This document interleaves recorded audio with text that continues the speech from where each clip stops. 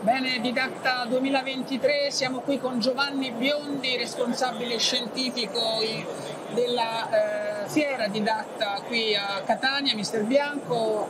Buongiorno Biondi. Buongiorno. Allora, come sta andando questa fiera quest'anno a Didatta?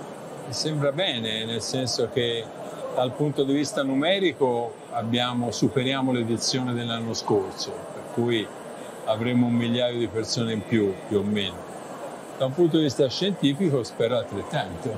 ecco, scientifico significa che si stanno affrontando, affrontando tanti argomenti, numerosissimi seminari, workshop, convegni, eh, in particolare, insomma, è inutile girarci intorno, qua domina l'argomento dell'intelligenza artificiale. Eh, quello che è emerso eh, tantissimo è che il docente eh, deve prendere in mano po' la situazione nelle classi ed evitare che questa intelligenza artificiale poi diventi uno strumento eh, in qualche modo disturbante eh, l'attività didattica.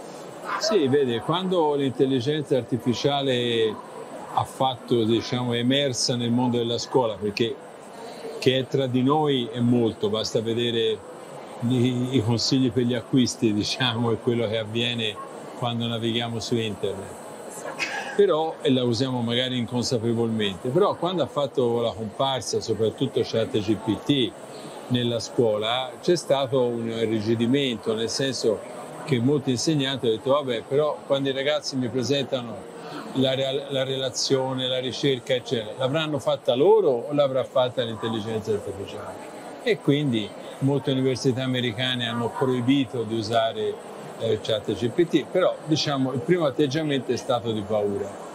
Ora io credo che in realtà l'intelligenza artificiale potrà dare un, un forte aiuto alla scuola, non per fare al posto degli studenti il lavoro, ma esattamente l'opposto, perché potrà diciamo, aiutare gli studenti nella comprensione di, di, potrà diventare un amico virtuale, diciamo così, che i ragazzi si portano dietro e che li aiutano a capire cose che magari a scuola nella lezione frontale non hanno capito, a fare degli esercizi, ad avere degli esempi.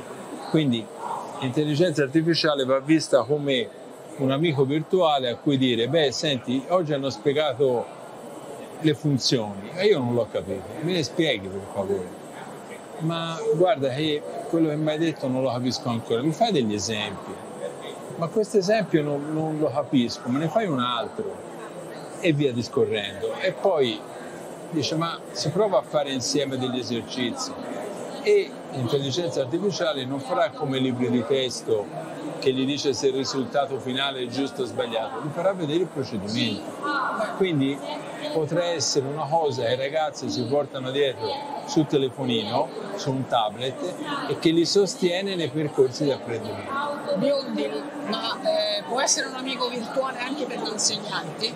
Assolutamente sì, prima di tutto perché, vede, da un punto di vista generale, tutti i lavori, tutte le routine, tutti i lavori di routine vengono sostituiti dal, dal, dall'applicazione digitale nella scuola saranno le, le routine cognitive, cioè fare gli esercizi, correggere tutta questa parte rutinaria dell'apprendimento sarà data in pasta al digitale all'intelligenza artificiale che eh, potrà fare anche quella cosa che nelle scuole si proclama ma non si riesce a fare, che è l'apprendimento individualizzato. Cioè, stato, abbiamo presentato a Didacta un'esperienza buffissima che viene dalla dall'Azerbaijan, dove praticamente questi signori durante la pandemia, invece di avere tante piattaforme, una per scuola, avevano una centrale in cui hanno memorizzato tutte le lezioni, gli esercizi, gli errori, poi l'hanno data in pasto all'intelligenza artificiale e ora l'intelligenza artificiale si rivolge singolarmente a ognuno del milione e duecentomila studenti proponendogli esercizi cioè in base agli, agli, errori, alle difficoltà che loro fanno. Cosa deve fare un docente per governare al meglio questa intelligenza? Usarla con l'obiettivo che deve avere la scuola, perché tutte le innovazioni diciamo, che vengono introdotte nella scuola non devono cambiare, non cambiano l'obiettivo della scuola. La scuola ha sempre lo stesso obiettivo, che è formare delle teste ben fatte, oggi ancora di più, che di questo chiede il mondo del lavoro. E tutto quello che serve a questo obiettivo l'insegnante lo deve usare.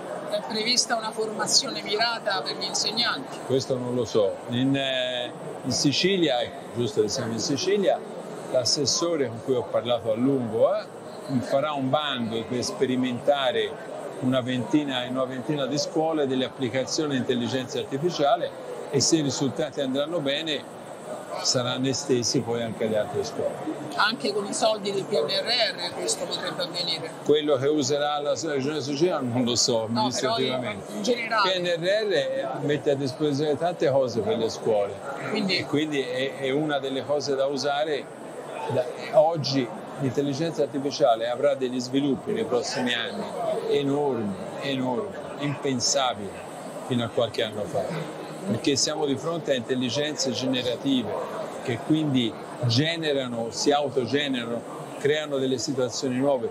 Chat GP3 4, quella che ora che è anche a pagamento, eccetera, è, è, ha fatto un salto enorme rispetto alla versione precedente un'ultimissima, i tempi di attuazione per vedere dei risultati concreti. Parliamo di tanti anni o di quanti no, no, non parliamo di tanti anni, queste cose galoppano. Ce le, tro- ce, le troveremo, ce le troveremo nella vita quotidiana in maniera sempre Molto più presente. Diciamo sì. pure che può essere un futuro prossimo, non anteriore. Sì, sì. Bene, ringraziamo Giovanni Biondi, responsabile scientifico di Data Sicilia.